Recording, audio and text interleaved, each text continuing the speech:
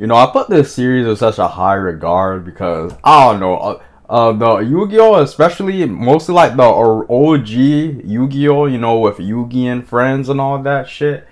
It felt like a show for niggas, bro. You feel me? Egyptian setting, Atem. That nigga was. Hey, you can't lie. That nigga was black, bro. Hey, hey, I don't want to hear. Hey, Hear these, these racist side niggas talk about oh, oh, Egyptian isn't black. Oh, it was a mix. That's true. That's true that Egypt was mixed. You feel me? No denying that. You feel me? but like it, were it, though like I feel like like the niggas started it like it's not too far fetched. Matter of fact, it's more far fetched than like the original like the original Egyptians were were like Middle Eastern versus you know actual like you know black people. You feel me? Like that's it. I'm just saying, bro. Like what like what would a Middle Eastern be doing just out in the out in the seas with like a what like a boat, nigga? That niggas can barely make fucking like wood or even know the concept of wood back then, bro. Like what what would they what would they be doing out in the open seas? Just stumbling across Africa, you feel me, and say, oh, you know what, I'm gonna make a big ass pyramid on that bit, you feel me, and we lit type shit. Like, come on now, come on, bro, come on. I, I gotta see some. Hold on, I got Yu-Gi-Oh anime. Uh, in the Yu-Gi-Oh anime, Yugi and Atem are two different people. Even though they share a body, Yu-Gi-Oh is a high school student while Atem is an ancient Egyptian pharaoh. Okay, so we know that. But right here it says in the Yu-Gi-Oh series, Atem is a pale skin for the most of the modern day series, but dark skinned while traveling back in time in ancient Egypt. Hmm? Hmm? Hey, hey man, come on now. Kazuki Takahashi, the GOAT, hey, RIP, rest in peace. Good soul, good soul, bro. The creator of Atem was inspired by Taka uh, Tutankhamun for his character. In the manga, 3,000 years after Atem defeats the Zorc Necrophades, Yugi Yugi Moto solves the Millennium Puzzle, causing a tender side in his body as Dark Yugi. Wait, so I don't know why I laughed at that. Some say that Yugi is Atem's reincarnation, similar to how Seto Seps. Baku, Bakura Ryo is the Thief Kings. Alright, but it's not saying if this nigga black though. Hold on, bro. I need my confirmation. Let me see. Let me Google this. Well, who who is he? Tutankhamun. Was Tutankhamun black? Is what I typed. Zahi Hawass, the head of Egyptian Antique and TV personality, de declares that Tutankhamun was not black. Okay, bitch ass thing. Oh, oh who is I ain't gonna lie, cause a lot of these archaeologists, especially during that time, you know, during segregation and shit, was racist as hell. Like they were, they were the big R word. I ain't gonna lie. I don't like calling other people a racist. You feel me? But I could definitely say these niggas skeptical as hell. Let me let me do a quick Google search on Zahi Hawass. Uh, let, us see. Let's see. Okay, white man. I can confirm that. This bitch ass nigga, hoe ass nigga. For you smiling for you got no hoes looking like that. What wrong with you, jit? Uh, yeah, nigga not even matching with the his fucking his vest, bruh. Fuck wrong with him. Anyway, let's see who Zahi Abbas Hawass is. Is an Egyptian archaeologist, Egyptologist, uh, supremacist, and former minister of state for antiques affairs, serving twice. He also worked as an archaeological site in Nile Delta. Okay, but how does he know that the nigga was black or white? I mean, let's let's analyze that, bro. Oh, oh, what do we have right here? Why was Zahi relieved? Because he's a fucking flop. he's a fucking a fucking loser. That's why he was relieved, okay? There was no doubt about it. Right, man. Muhammad Ibri Ali. Uh, okay, I don't know none of these niggas. But yeah, fuck out of here, jit. Hey man, I'm gonna say that nigga black. Hold on, let, let's see. Uh, we gotta further analyze. Declares Tutankhamun was not black, but he has no proof though. It's not like you can go in and dig that nigga's grave up. In response to the criticism, American exhibit did not portray Ramses as a black African. Okay. What does America have to do with Egypt though? Is that what we're saying? Like, what are you, what are you niggas talking about, right? Anyway, anyway, I'm not even gonna get into that. Something interesting.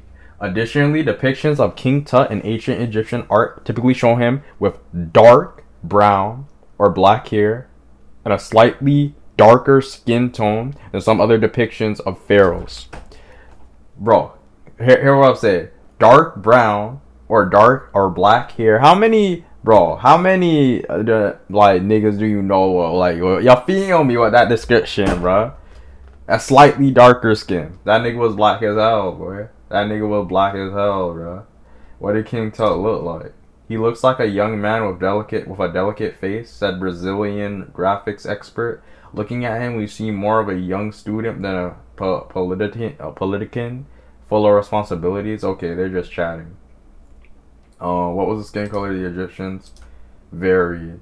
What did Cleopatra look like? That bitch was white as hell, boy. It was a fucking Greek. Going deep into this, I don't give a fuck. Look, look what my my good king, my my eh, Gasper Roberts, a random nigga on Quora has to say. It's odd that most don't look to King Tut's parents to guesstimate what King Tut looked like. It it is known his father was Ar- Akhenaten and his mother is assumed to be Nefer Nefertiti. I don't know what that is.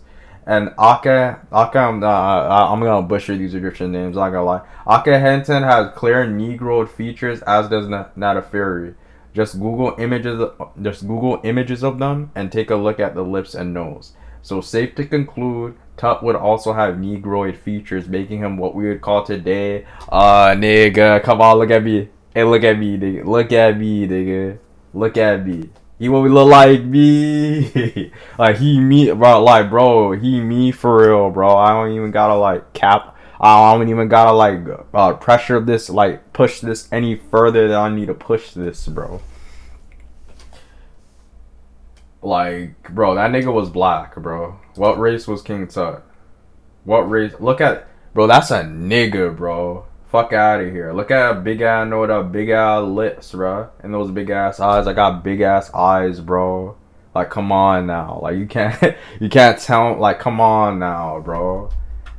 Telltale is arguably the most famous person of ancient Egypt. He's almost universally known today because of Sir discovery of his nearly intact pharaonic tomb in 1922 and his famous gold death mask. But who was he? He was the only son of the heretic pharaoh Akhenaten before his religious revolution. Bro, look, I look like a nigga, bro. You can't tell me that I don't look like a nigga, bro. Contrary to what many people believe, Queen Nefertiti, a great wife, was not his mother. His actual mother is believed by scholars have been Akhenaten's sister. Uh, 90 years old when he died. Damn. Was weak and infirm. He was famous for his golden death mask, some showing strong features of kingship and power. But in reality, Tut Amun was a visible result of royal family's extensive inbreeding as is later discovered through further studies that his parents were siblings. Yo, damn. Maybe these niggas were, were from Alabama. I ain't gonna lie. I'm, I'm, I'm, I'm, joking. I'm joking. If you look at his golden mask, you see a display of power and importance. But if you look closely, you will see an image of an innocent young boy. Oh, this nigga was chopped. Oh, but nah, that, that couldn't be him. That couldn't be him though. But he, I'm saying, bro, because he has so many features of a black person. I know everybody, every a black, you know, like not every black person looks the same. I'm not saying that. I'm just saying we have specific features. You feel me? Different from other people. Like what I will say, I think I feel like like uh, Egypt was mostly black until you know the invasion started happening, and until then, I mean, I ain't gonna lie, they were the invaders would have had to like you know fuck the fuck the holes and shit. You feel me? So yeah, I feel like it was uh, the more time passed, the more like it became mixed and shit and niggas and, until until you know the Greeks started taking over and I don't know what the fuck happened to them and shit some shit like that that's kind of like the last era like, like the Greek era was kind of like the last thing so we can't sit here and say oh yeah for sure all I know the niggas weren't white and you know there's, no offense I mean they were white for one dynasty but you know they they crashed and burned you feel me Greek was was in the mud. You feel me? That shit was getting burned and all types of shit. Like Greek was falling down. So yeah, mm.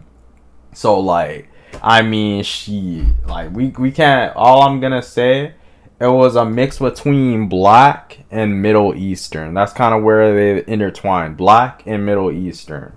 It's a mix between those two. And then it just started to get, you know, mostly Middle, you know, Middle Eastern started moving down there in the modern day and shit. And that it's kind of, you feel, that's what it is. But, uh, yeah. Yeah. Long story, that nigga was black. I don't care. Fuck out of here.